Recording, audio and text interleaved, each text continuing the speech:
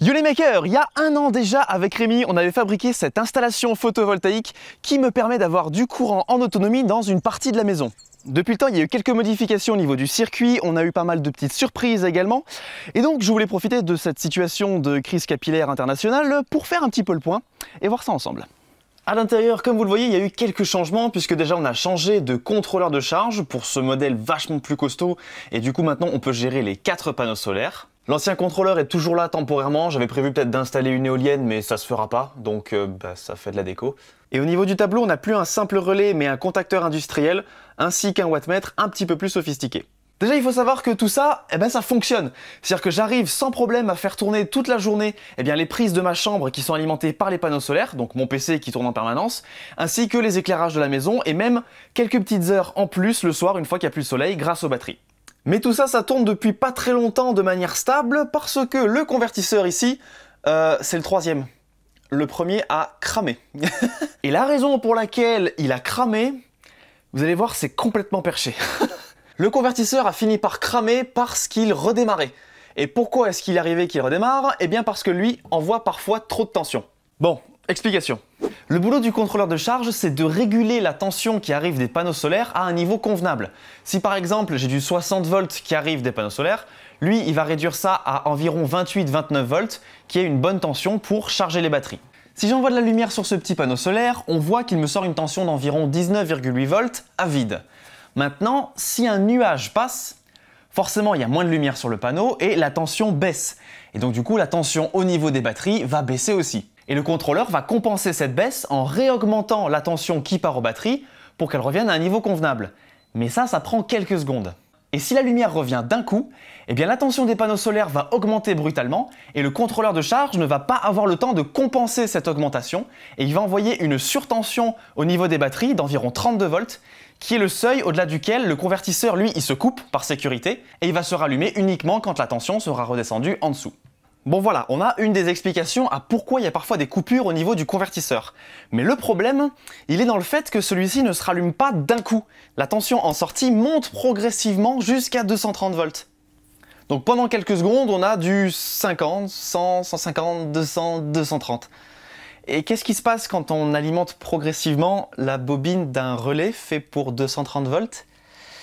Alors les électriciens, mettez, coupez la vidéo, vous allez, vous allez pleurer, euh, vous allez avoir mal. Donc je vais simuler un arrêt en éteignant tout simplement le convertisseur. Clac, là on entend le contacteur qui repasse sur le DF, il n'y a pas de souci. Et là, bah, je vais le rallumer et vous allez écouter le contacteur. Miam.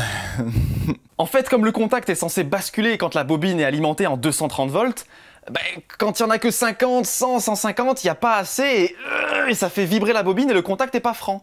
Et résultat, à l'époque où il y avait encore un relais à la place du contacteur, eh ben, petit à petit le contact a vibré entre les deux, donc entre solaire et EDF, et qu'est-ce qui s'est passé? Ça a renvoyé l'EDF dans le convertisseur, qui m'a fait un petit 14 juillet un peu trop tôt. genre...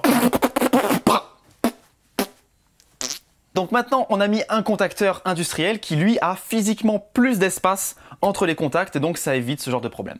Du coup, ce que je fais le matin pour l'allumer et éviter ça, c'est que j'éteins le disjoncteur qui gère la sortie, je l'allume, j'attends que la tension soit bien équilibrée et à 230, donc au bout d'une petite seconde, et une fois que c'est fait, là seulement, voilà, j'allume et le basculement se fait en douceur.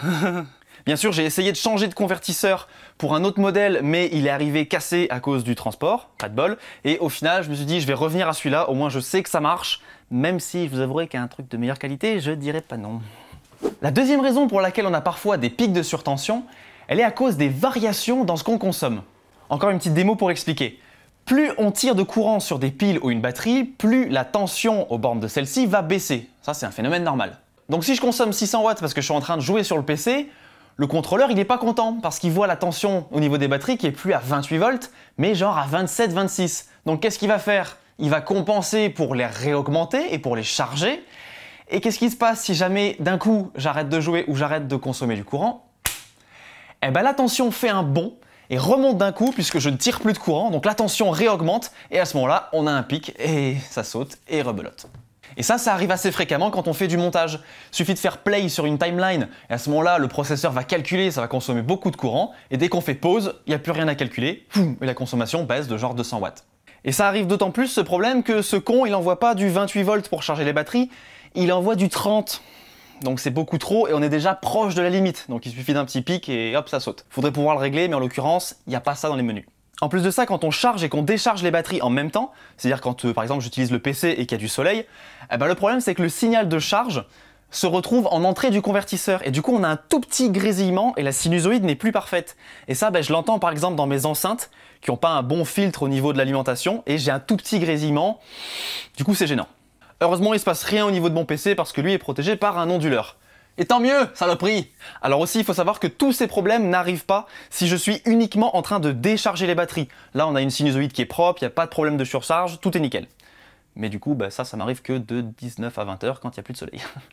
ah non, mais c'est honnête, hein Au moins, c'est honnête, hein Je suis pas en train de vous dire, allez-y, achetez tout je suis en train de vous dire que ça marche, mais c'est pas top. bon, bah voilà, c'est super, ça donne envie tout ça. Mais est-ce qu'au moins ça permet de faire des économies? Eh bien, non. Pas du tout. C'est complètement débile. Alors on va faire des petits calculs en estimant que je tire plein parti de l'installation solaire et que je consomme, on va dire, 600 watts toute la journée sur les panneaux. C'est à peu près ce que consomme mon PC au maximum. On va dire qu'il y a du plein soleil sur les panneaux de 9h à 18h, plus une heure d'autonomie sur les batteries après ça. Ce qui nous donne un total de 10 heures.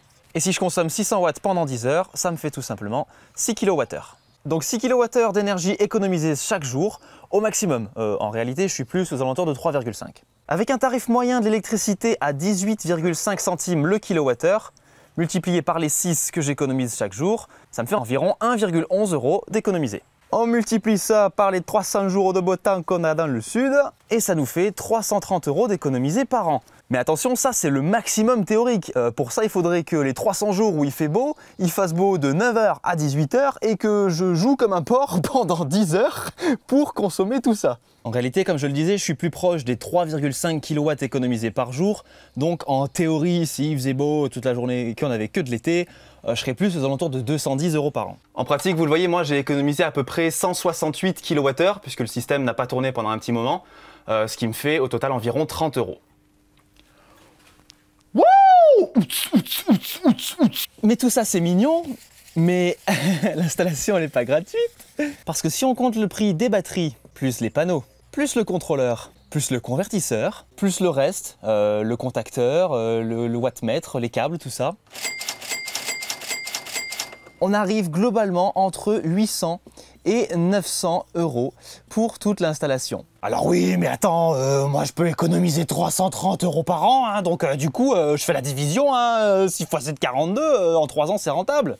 Non Kevin, les calculs sont pas bons. Parce que tes batteries là, eh ben, elles se prennent un cycle par jour, hein, et dans deux ans ben, elles sont mortes et il faudra les racheter. du coup tu seras plutôt rentable dans 6 ou 8 ans. Tu sais, quand tu auras déménagé et que ta maison aura brûlé peut-être. Donc du coup, alors est-ce que c'est intéressant? Non, c'est de la merde.